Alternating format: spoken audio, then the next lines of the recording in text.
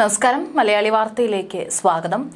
തങ്ങൾക്കെതിരെ നിൽക്കുന്നവരെയെല്ലാം ശരിപ്പെടുത്താൻ ലക്ഷ്യമിട്ടാണ് ഇസ്രായേലിന്റെ പ്രവർത്തനങ്ങൾ.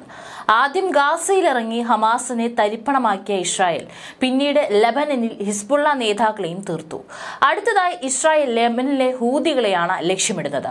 ഹൂതികളുടെ മിസൈൽ ഇസ്രായേലിൽ പതിച്ചതയോടെയാണ് ഹൂതികൾക്കെതിരെ ശക്തമായ നിലപാടുമായി ഇസ്രായേൽ രംഗത്ത് വരുന്നത്. ശക്തമായ വ്യോമാക്രമണമാണ് യമനിലെ ഹൂതി കേന്ദ്രങ്ങളിൽ ഇസ്രായേൽ നടത്തിയത്.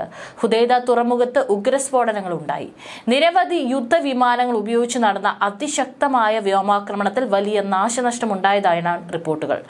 പ്രധാന ഹൂതി കേന്ദ്രങ്ങളിലും തുറമുഖത്തും കനത്ത ബോംബിംഗ് നടന്നു.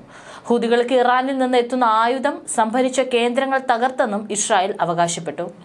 ഇസ്രായേൽ എത്താനാവാത്ത ഒരിടവുമില്ലെന്നും ശത്രുക്കൾ മനസ്സിലാക്കണമെന്നും പ്രതിരോധ മന്ത്രി യോ ഗാലന്റ് പറഞ്ഞു. ലബനനിലും ആക്രമണം തുടരുകയാണ്. ഇന്ന് ഇരുപത്തിനാല് പേർ കൂടി കൊല്ലപ്പെട്ടു. ലബനൻ തലസ്ഥാനമായ ബെയ്റൂത്തിൽ ഇസ്രായേൽ നടത്തിയ വ്യോമാക്രമണത്തിൽ ഹിസ്ബുള്ള നേതാവ് ഹസൻ നസറുള്ള കൊല്ലപ്പെട്ടതായി സംഘടന സ്ഥിരീകരിച്ചിരുന്നു. നേരത്തെ ആക്രമണം നടത്തി ഹസൻ നസറുള്ളയെ വധിച്ച വിവരം ഇസ്രായേൽ സൈന്യം പുറത്തുവിട്ടിരുന്നു. മണിക്കൂറുകൾക്ക് ശേഷം ഹിസ്ബുള്ളയും ഇക്കാര്യം സ്ഥിരീകരിക്കുകയായിരുന്നു. ഇസ്രായേലിനെതിരായ പോരാട്ടം തുടരുമെന്നും ഹിസ്ബുള്ള അറിയിച്ചിട്ടുണ്ട്. അതേസമയം ഇസ്രായേൽ ആക്രമണത്തിൽ കൊല്ലപ്പെട്ട ഹിസ്ബുള്ള തലവൻ സയ്യിദ് ഹസൻ നസറുള്ളയുടെ മൃതദേഹം കണ്ടെത്തിയിട്ടുണ്ട്. ലബനാൻ തലസ്ഥാനമായ ബെയ്റൂത്ത് നഗരത്തിന്റെ ദക്ഷിണ പ്രാന്തങ്ങളിൽ കെട്ടിടാവശിഷ്ടങ്ങൾക്കിടയിൽ നിന്നാണ് മൃതദേഹം കണ്ടെടുത്തത്. ലബനാൻ സുരക്ഷാ മെഡിക്കൽ വൃത്തങ്ങളെ ഉദ്ധരിച്ചും വാർത്താ ഏജൻസിയായ റോയിട്ടേഴ്സാണ് വാർത്ത പുറത്തുവിട്ടിരിക്കുന്നത്. ഹസൻ നസ്രുള്ളയുടെ ഭൗതിക ദേഹത്തിൽ ഒരു പോറലോ പരിക്കോ ഒന്നുമില്ലെന്നും റിപ്പോർട്ടിൽ വെളിപ്പെടുത്തിയിട്ടുണ്ട്.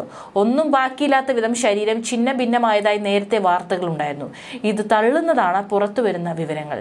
മിസൈൽ ആക്രമണത്തിലുണ്ടായ സ്ഫോടനത്തിന്റെ ശക്തമായ ആഘാതത്തിലായിരിക്കാം മരണം സംഭവിച്ചതെന്നാണ് കരുതപ്പെടുന്നത്. അതേസമയം എങ്ങനെയാണ് അദ്ദേഹം മരിച്ചതെന്ന് ഹിസ്ബുള്ള വ്യക്തമാക്കിയിട്ടില്ല. മരണാനന്തര ചടങ്ങുകളെ കുറിച്ചുള്ള വിവരങ്ങളും പുറത്തുവിട്ടിട്ടില്ല.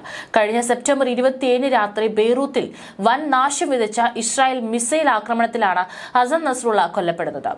ബെയ്റൂത്തിലെ ഹിസ്ബുള്ള ആസ്ഥാനം ലക്ഷ്യമാക്കിയായിരുന്നു ഇസ്രായേൽ ആക്രമണം. ലബനനിലും പശ്ചിമേഷ്യയിലും ഏറ്റവും സ്വാധീനമുള്ള സായുധ സംഘടനയായി മാറിയ ഹിസ്ബുള്ളയ്ക്കും സംഘടനയ്ക്ക് എല്ലാ പിന്തുണ നൽകുന്ന ഇറാനും കനത്ത തിരിച്ചടിയാണ് ഹസൻ നസ്രുള്ളയുടെ കൊലപാതകം. സംഭവത്തിൽ ഇറാൻ പരമോന്നത നേതാവ് അയത്തുള്ള ഗമീനി ശക്തമായി അപലപിച്ചിട്ടുണ്ട്. നസ്രുള്ളയുടെ കൊലപാതകത്തിൽ ഹമാസും അപലപിച്ചിട്ടുണ്ട്. സാധാരണ ജനങ്ങളെ ലക്ഷ്യമിട്ട് ഭീകരാക്രമണമാണ് ഇസ്രായേൽ നടത്തുന്നതെന്നും ഹമാസ് ആരോപിച്ചു. അബ്ബാസ് അൽ മുസാവി കൊല്ലപ്പെട്ടപ്പോൾ ആയിരത്തി തൊള്ളായിരത്തി തൊണ്ണൂറ്റി രണ്ടിൽ മുപ്പത്തിരണ്ടാം വയസ്സിൽ നേതൃത്വം ഏറ്റെടുത്തതാണ് ഹിസ്ബുള്ളയുടെ തലപ്പത്തേക്ക് ഷെയ്ഖ് ഹസൻ നസ്രുള്ള എത്തിയത്. പതിനെട്ട് വർഷമായി ഇസ്രായേൽ ഹസൻ നസ്രുള്ളയെ കൊലപ്പെടുത്താൻ ശ്രമിക്കുന്നുണ്ട്. ലെബനനിൽ വ്യോമാക്രമണം കടുപ്പിക്കുകയാണ് ഇസ്രായേൽ. തെക്കൻ ബെയ്റൂത്തിൽ കഴിഞ്ഞ ദിവസം നടത്തിയ ശക്തമായ വ്യോമാക്രമണത്തിൽ ഹിസ്ബുള്ള തലവൻ നസ്രുള്ളയുടെ മകൾ സൈനബ് നസ്രുള്ള കൊല്ലപ്പെട്ടതായും ദേശീയ അന്താരാഷ്ട്ര മാധ്യമങ്ങൾ റിപ്പോർട്ട് ചെയ്തിരുന്നു.